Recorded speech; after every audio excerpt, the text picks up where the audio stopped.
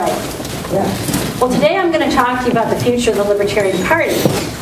And I'm going to start out by talking about some things that might sound a little bit discouraging at first. But please don't go there because I'm going to end my talk with the closest thing I think we'll ever have to a silver bullet. So I, I hope the talk will be encouraging in the long run rather than discouraging. But before I begin, I know if I were listening to someone talking about the future of the Libertarian Party, I'd want to know a little more about them because how do they know what's going on, right? So I'm going to do something I rarely do. I'm going to talk more about myself uh, in the first part of the talk than I normally would do. Normally, I just rely on the introduction, and I will go fast. Okay, so I've been an LP candidate in so many races I can't count them anymore. And I started in 1983. I was a, a champion ballot access gatherer in Michigan. We had to do it every four years because we always lost our ballot access during the presidential race.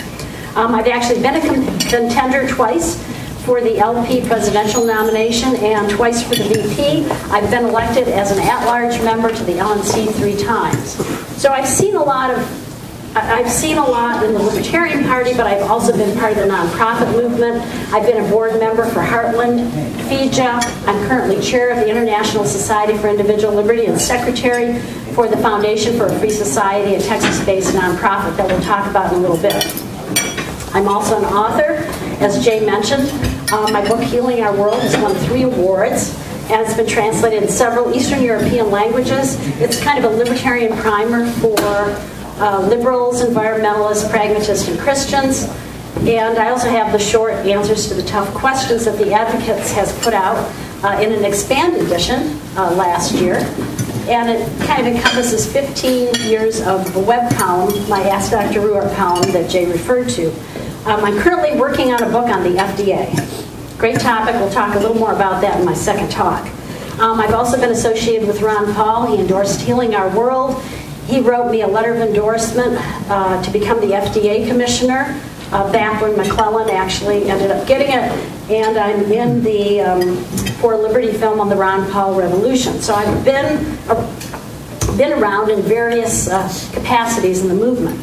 And this is why I think I might have something to share with you today that might be helpful. So let's talk about where the Libertarian Party is. You know, when we started, we were the gateway to the libertarian movement, but that's no longer true. And in many ways, that's a good thing. We've got a lot of other organizations out there, like Students for Liberty, the Ron Paul movement, the nonprofits. People can come in, and that's a wonderful thing. But it is competition.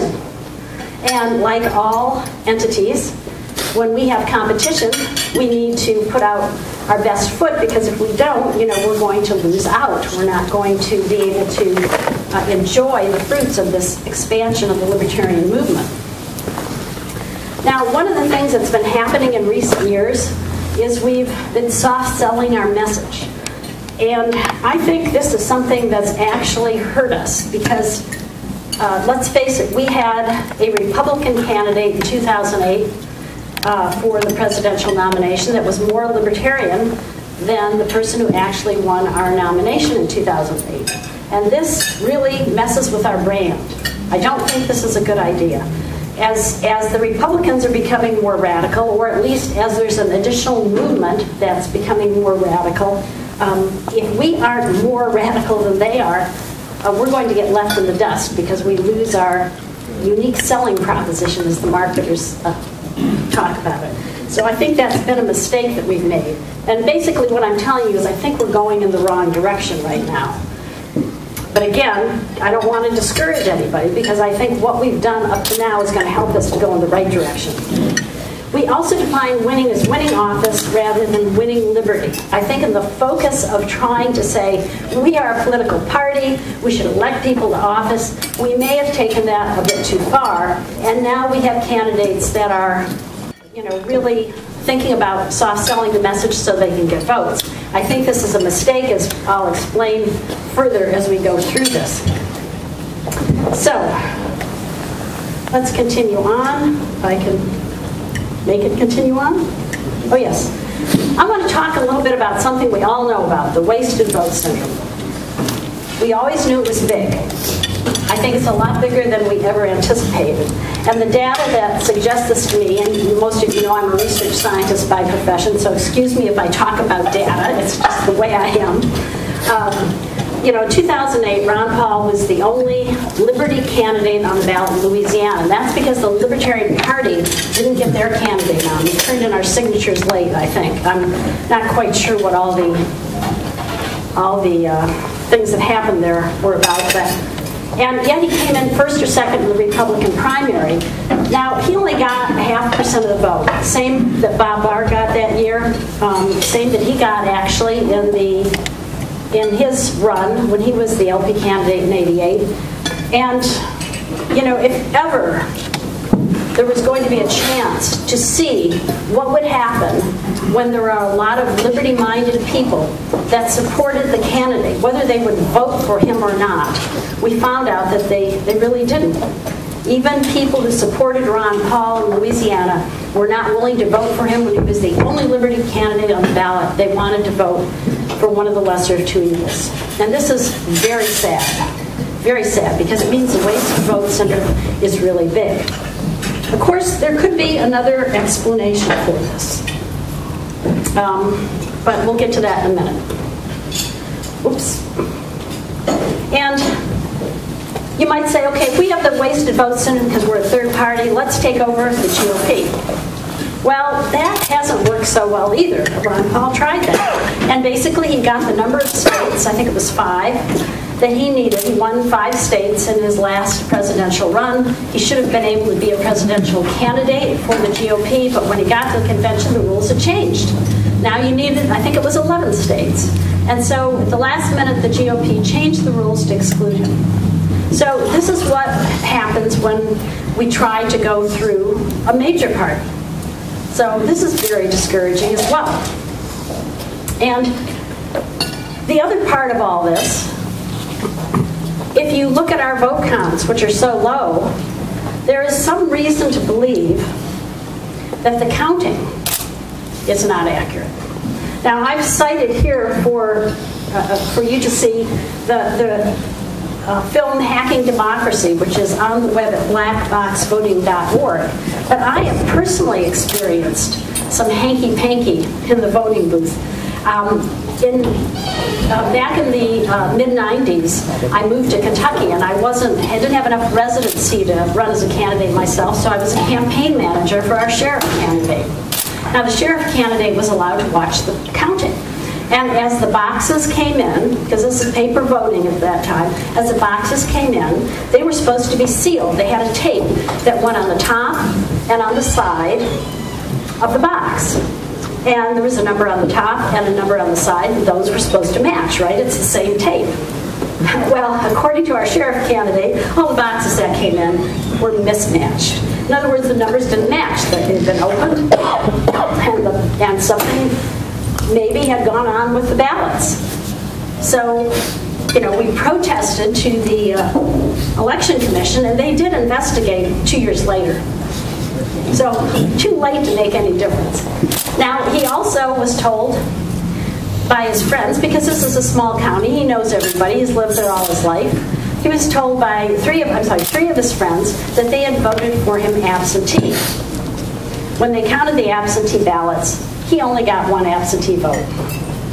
So, you know, things are going on. There was another situation in Nevada where one lady ran for state rep, and she had people outside the uh, voting area that were doing exit polls. The exit polls showed that she had won the race about 67 to 33 percent. But when the results came in, they were switched. She lost she only had 33%. So again, some reason to think there's a lot of hanky-panky going on in the vote counting, which really shouldn't surprise us um, because we know that it's no secret that it's not the people who vote that count, it's the people who count the votes. So we have a lot going against us as libertarians trying to get elected. We have the wasted vote syndrome, we have the highly probable scenario of our votes not being counted. And of course, I haven't even talked about ballot access, which of course is a major hurdle too. So this is this is very sad. Now, to counter all this, some people have proposed that what we do is we put all of our eggs in one basket, so to speak, and really work hard to elect one or two people to Congress. So I'd like to talk about that strategy for just a moment. First of all, of course, not everyone agrees that's a good idea, but let's just say we did for the sake of argument. And what happens if we actually elect one or two people to Congress? What would happen? Well, we already know because we've had Ron Paul in Congress, right? And think about it. How effective was he? He was a great watchdog. You know, and I'm, I'm a Ron Paul fan. So, you know, he's a great watchdog, but when he told us about the Patriot Act, could he stop it being passed? No. He wasn't able to do that. Was he able to get major legislation passed? Well, he's one person. You know, you need the majority in Congress to pass it. So it's hard for one or two people to be effective. When Andre Marrou in 1992, our candidate, went to Dixville Notch, he had a plan. He knew that Dixville Notch reported out their voting results before anyone else in the country. And this was usually a big deal. So he went to Dixville Notch and he talked to all the 28 people that were going to vote that year. And he convinced them to vote for him. So he won Dixville Notch in 1992. But you know what? Did you see headlines saying, oh, Libertarian wins Dixville Notch? Any of you remember that? Probably not, because the media did not bring that to the fore. You had to really dig to find that out. And that's another thing. The media tends to be anti-libertarian. They don't want to shout our victories from the rooftops, so it's, it's very tough. So maybe that's not such a great strategy. But I think there is a strategy that works. And it took me 30 years to figure it out. So I'm hoping that you will, if you think it's a good one, get it right away and implement it and not not take as long as I did to figure it out.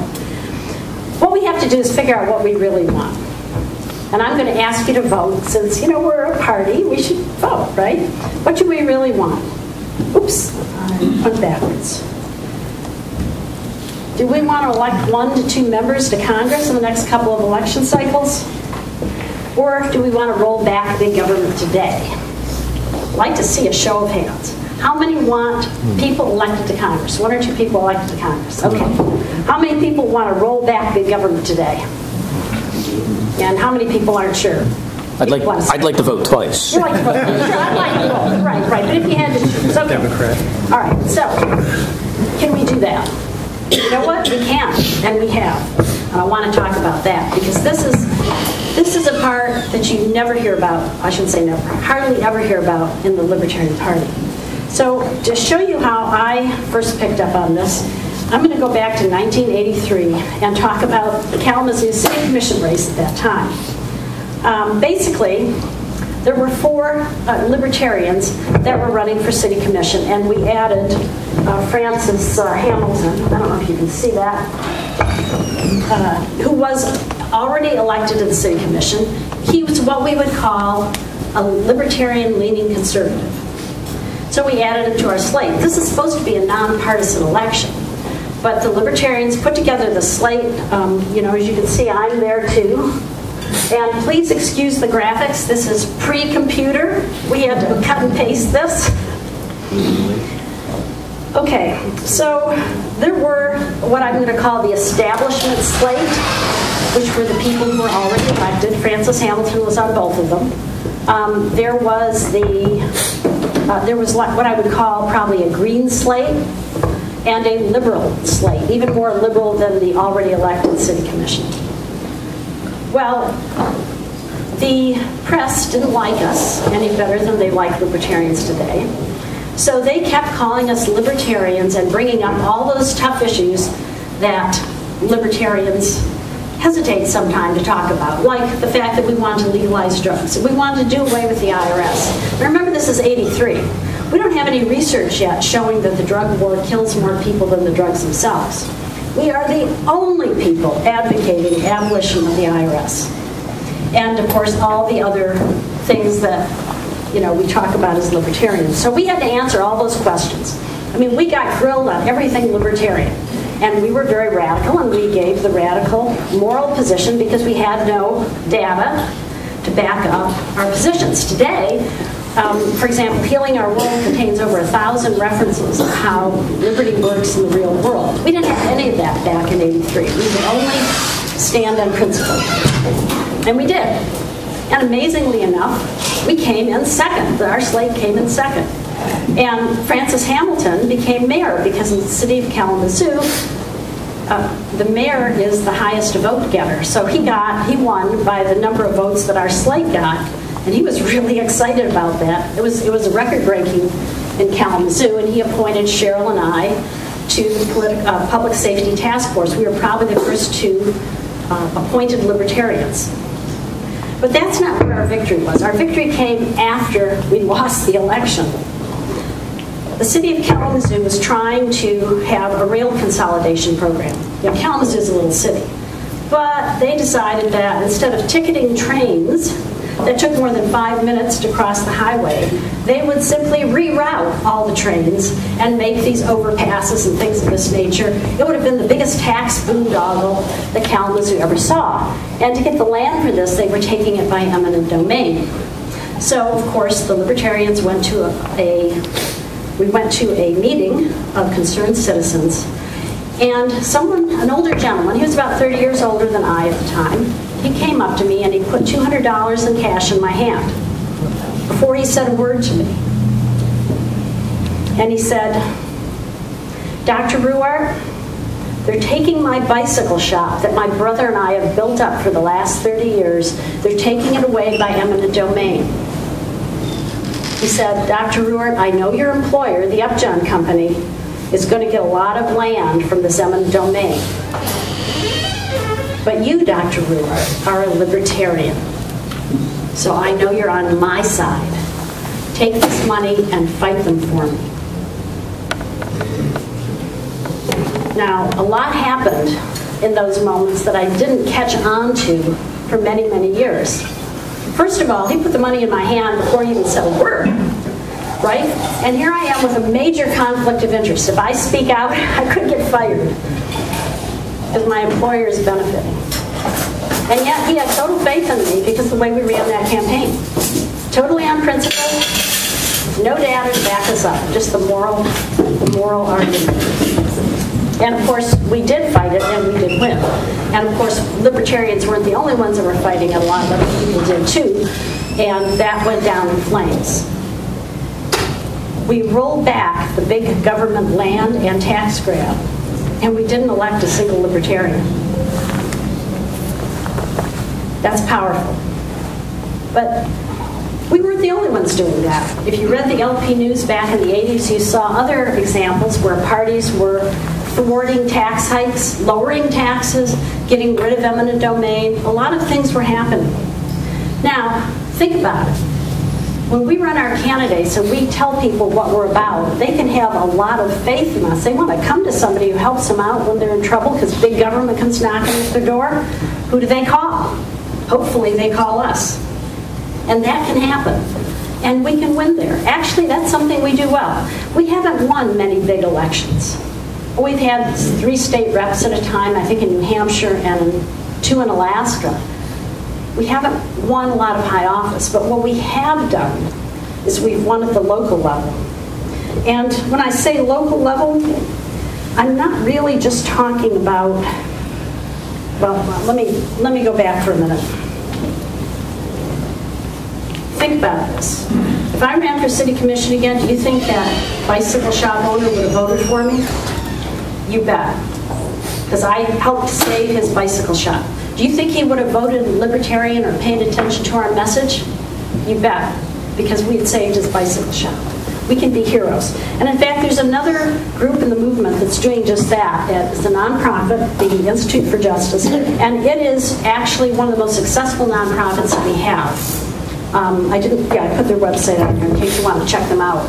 Um, they are a bunch of libertarian lawyers, and what they did to their claim to fame right now is going to Supreme Court on eminent domain, but they started by being the, the, the, group that people went to when big government came knocking at the door, especially the disadvantaged. What they did is disadvantaged hair braiders, taxi drivers, people who were getting driven out of business by big government came to them and they represented them pro bono and they won. Now, having been to the Supreme Court, when IJ takes on a case, they start with a letter to the government and say, um, you know, if you don't stop this, we're going to go after you. And oftentimes that's all it takes. The government backs down because they've exercised their ability enough to win and to be the heroes, to be the savior of these people, that big government knows that they better stay away. Now, wouldn't you like to see the Libertarian Party in that position? We send a letter, either a local Libertarian Party or a national Libertarian Party, and say, we're going after you if you don't stop this and have them back down? I think that would be pretty powerful. And in fact, you know, we've actually done that, but it's not well celebrated in the movement. Uh, for example, this is probably the one that most of you know about. Steve Kubby, a libertarian, and one of the first medical marijuana patients, uh, along with the Libertarian Party and colleagues in California, passed the first medical marijuana law. And that resulted in other people. This is at the state level, so you know it's not just the local level, state level. And what happened is it's kind of ballooned out into a national level because other states started passing medical marijuana laws. And just last year, two states legalized marijuana completely. Now, what's important about this is the drug war goes down, marijuana goes down, because more than half the arrests are for marijuana smokers and dealers. Why? Because it's much safer for the police to arrest them than it is for a heroin or crack addict, right? That might pull out a semi-automatic. So the marijuana, if marijuana is legalized, the drug war ends.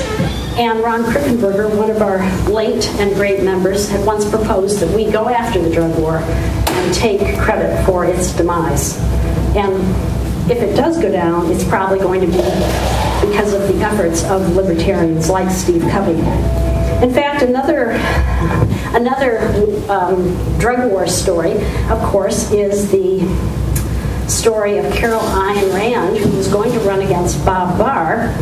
Um, she was going to run as a libertarian, but Bob Barr had to run the Republican primaries and get the nomination while he was still an incumbent. It should have been a slam dunk.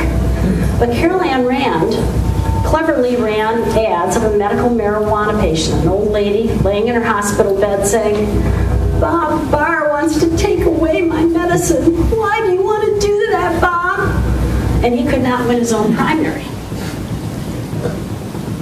She took him down without any libertarian being elected.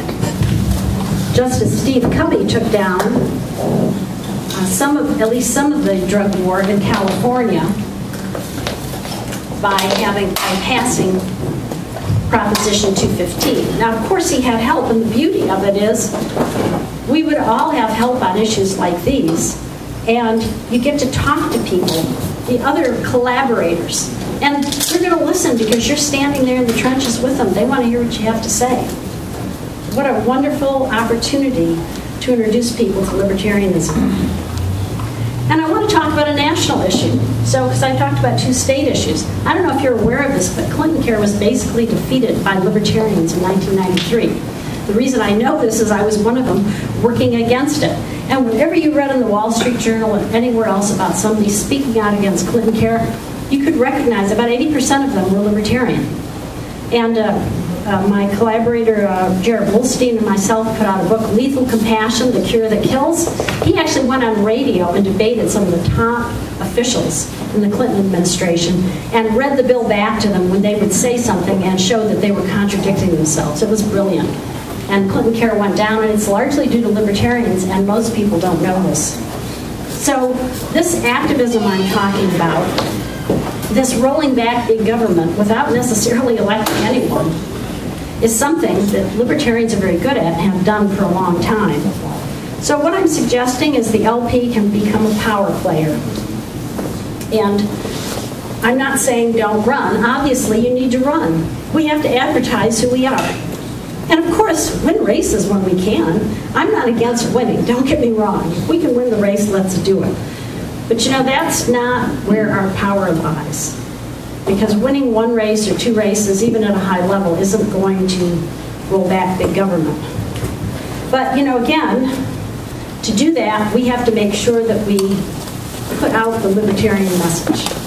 If we don't, if we don't establish our brand, then, and our brand is someone who supports the non-aggression principle, people won't know where we stand. It's very clear, on most issues at least, where we stand when we tell people where we're coming from. So we could be the Ghostbusters, so to speak, um, that people come to when Big Brother comes knocking on their door. And so I, I think the way we can define winning as a party is rolling back big government, where we have lots of victories in the past and could have many, many more in the future, whether or not we elect an LP candidate. And the nice thing about this is when you're working on issues, you keep your party alive in between campaigns. Usually what happens is people get all excited in the presidential election, your numbers go up, and then they plunge afterwards. This is true at the national level, too. They plunge afterwards, and, and you have not much going on until the next election cycle. But this way, you can have something going on all the time. There's always an issue that needs fighting. And that brings people together, brings you in touch with your collaborators to share the message. And then, of course, you know, you can have an opportunity to share the message with interested people, with activists who are already on the ground uh, doing something about rolling back big government. There's one other thing I'd like to point out that isn't talked about much, but we're going to see, I believe, a big movement for states to overturn what's happening at the federal level. Um, for example, we have the two states that have already legalized marijuana. I am sure the federal government is going to come in there and try to squash that, and I think the states are going to fight back. The states are already fighting back on Obamacare. 34 states have refused to set up an exchange. We're going to be having lots of battles on Obamacare coming up. So I'm going to suggest that you may want to uh, get up to speed on this nullification movement. And the um, foundation that I'm secretary for, the Foundation for a Free Society, has put out an award-winning documentary on the subject. You can get it on their website at f4fs.org. So I, uh, if you haven't heard of that, if you're not familiar with what's going on there, I suggest you look into that because that's an area where libertarians will have a great opportunity as individuals and as parties to support something that's big. And I think it's big because if the states nullify the federal government, it sets a precedent for the counties to nullify what the states do, and for the local cities to nullify what the counties do, and for the individuals to nullify everything else. So I think that gives us an opportunity that uh, whose time has come. I'm going to end there because I know we have some crazy time restrictions. Um, I don't know if I have time for questions or not. I'll leave that decision to Jay. Uh, we will be seeing Mary again, but if anyone has any quick questions. Okay. Uh, yes.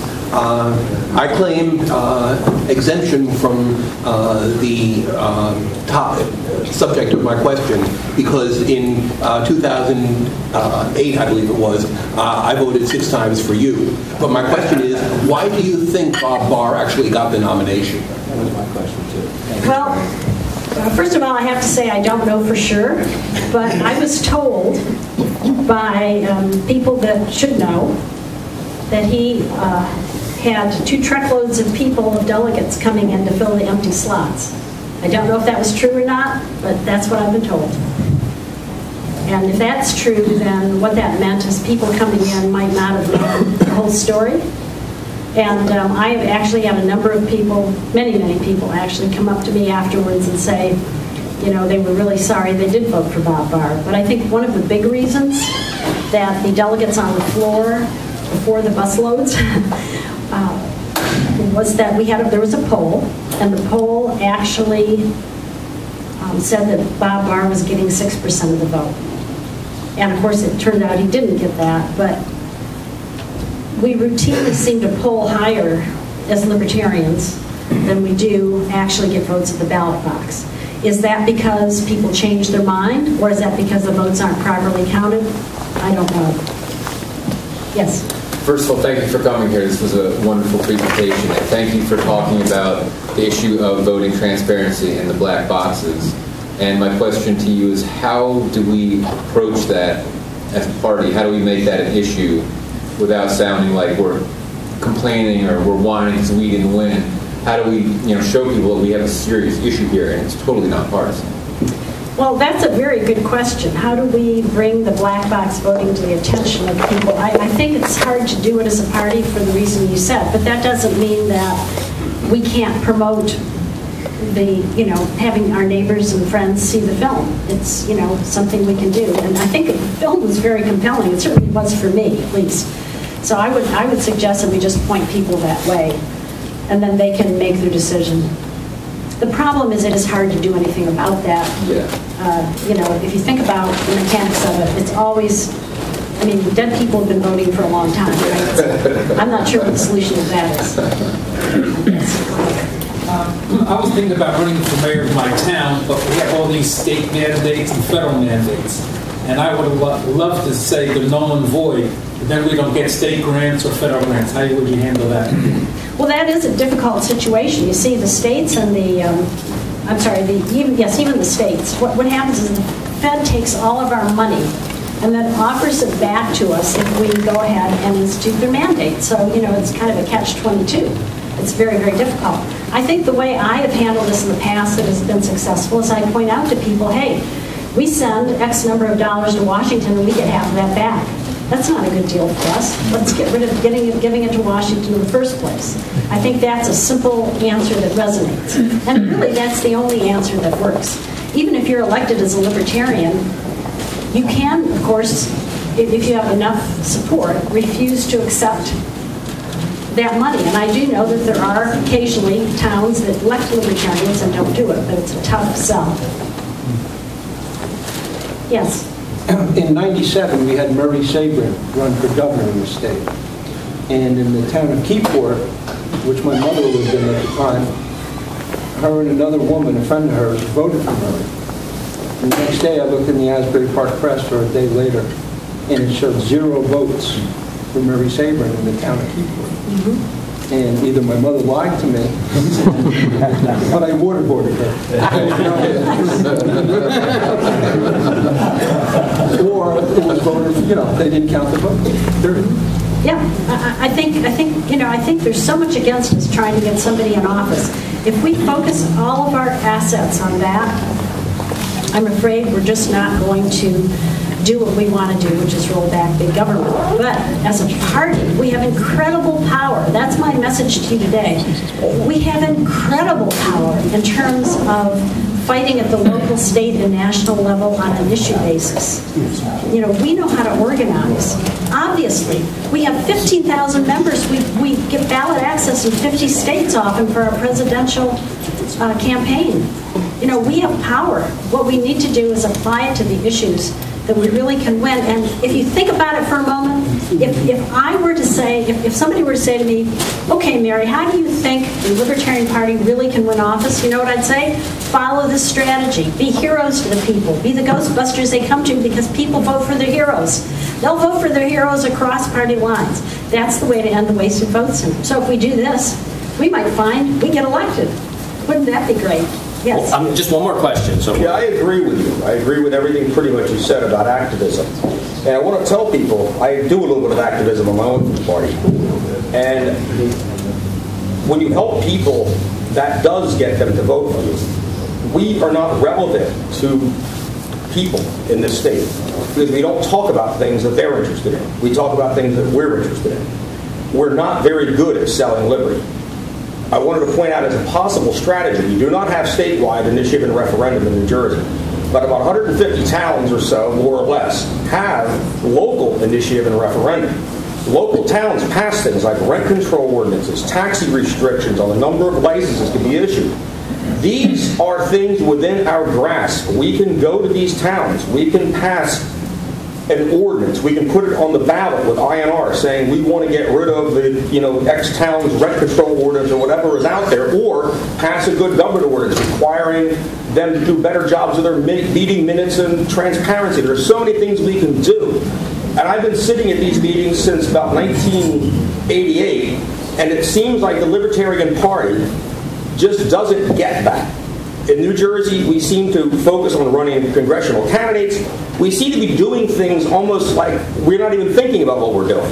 And I think we have opportunities here to seize on to those types of issues which we're talking about, and the election victories will follow. But first, we have to demonstrate to people that we're doing something that makes us worth paying attention to. And I would love to see, and I don't know how to do that, I've been trying for years, but I'd love to see the Libertarian Party actually get to where it actually does things that are meaningful to the average people that pay taxes and live here. And, and I think so far, we failed to do that. And that's our problem. And the good news is that you don't need the whole party to do it, you know? A county can do it. Um, Actually, a group of Libertarian Party members can get together and start that initiative. So if you like that idea, go for it, because I Right. think that's where it is. Right now, John Paff does it, and we need more people to take him as example. Yeah, I ran for office once. It was, it was largely a waste of my time. I ran as the only good thing about running for lieutenant governor is my mother was impressed. I think what you're doing now is great. I don't want to run for local office, and I'll tell you why. People ask me that because when you run for local office, you have to do things to serve the constituents that might not be of any interest to me. I don't want. I think I'm more effective operating as a litigant outside of the system, getting people, getting court orders to require governments to disclose things. I think those are better uses of an activist's time than actually running and sitting as one member out of nine on a school board or a local council. That's just my position. I don't think that I think that we shouldn't be running candidates and we should be running campaigns to change government in New Jersey. That's what we should be doing. Is I'd your like to toot his horn a little bit. What he's doing is getting more positive attention to the Libertarian Party in this state than I think anybody else that I've seen anywhere in the party. Congratulations. よろしくお願いします。